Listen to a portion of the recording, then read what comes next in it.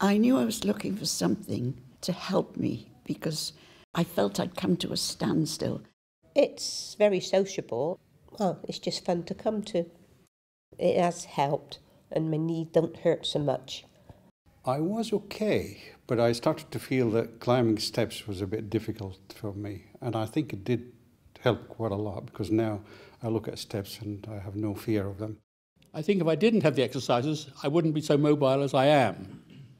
I'm very grateful to Steve because he did say to me when we first started talking about this shoulder business that it would be much better to exercise it better than to go in for surgery, which is what the medical people wanted.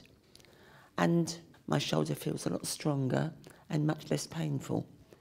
And I've told the surgeon that I don't want to go ahead with the surgery and why.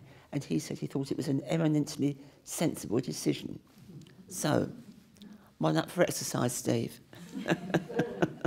so we're going to go into a heel dig with a bicep curl, just tapping the heel in front, little bend in your knees. And the format changes from week to week, but all focusing around whole body movements, balance, and cardiovascular work, um, just to try and give them a, a good variety of an exercise session.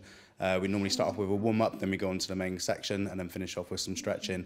Uh, and we then finish off with a cup of tea and a, a bit of cake. The ones the group are most challenged with are balance-based work, so standing on one leg or walking in like a tightrope format.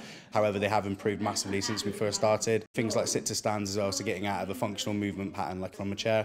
That's normally quite difficult for them, but as you can see today, they've progressed quite quite a long way.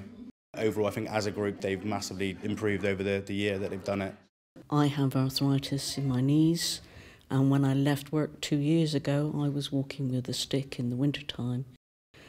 Now I don't do that. I carry a folding stick for emergencies, but most of the time I walk unaided. My general physical uh, situation, that has all improved, um, which enables me to do what I'm doing and continue doing it. I had um, rheumatoid arthritis, and um, I think the exercises help and keep me going. My kids all say, go for it, mother, you know, keep going. so, yeah, I think it's very helpful. I just wanted to know at my age what I, I can do when you are at the age of like over 70s, what you can really do. So I started to exercise, walk first and then exercise, and then I found it easy to run. It's helped my balance a lot to what it was. And I just enjoy coming and having a chat. But it's social too. I look forward to it every week. I'm 88 years of age just, and um, this has made a huge difference in my life. It's very hard to find the reason for it. I think it's the social thing, the feeling of being part of a group. We soon made friends amongst each other, and I think we've become quite close in our friendships now. It does people good to have somewhere to go, meet people they've got to know quite well, and have a good laugh. It all helps towards good health, I think. Hopefully, I can, you know, carry on walking, dancing, and all those sort of things.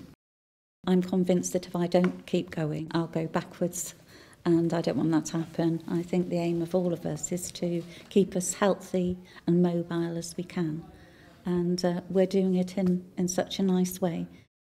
And you'll continue coming to these sessions? Oh, for as long as they last and as long as I last. I'm never going to be as I was then. I recognise that fact. But I'm jolly well going to be as fit as I can be.